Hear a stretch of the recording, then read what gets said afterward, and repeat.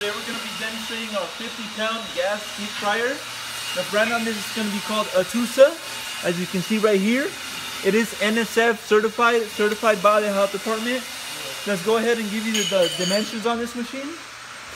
Now for the length, you're going to be looking at about 15 and a half inches. Let's go ahead and give you the depth on it.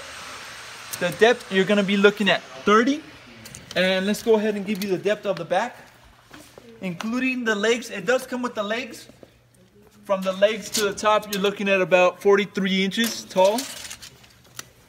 It does come with two, uh, two baskets, as you can see right here.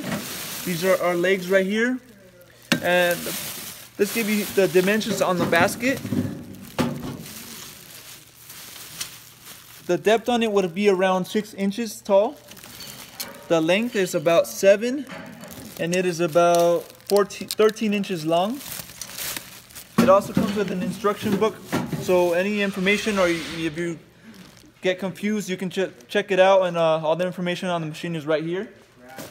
Let's go ahead and open it up. As you can see right here on the inside, we will have the ETL certification as well as all the information based on this product. It is uh, natural gas. Uh, this one does come with four burners as you can see inside here. It also comes with the waste oil waste valve as you can see. And it also comes with a temperature switch right here which you can control the temperature you want.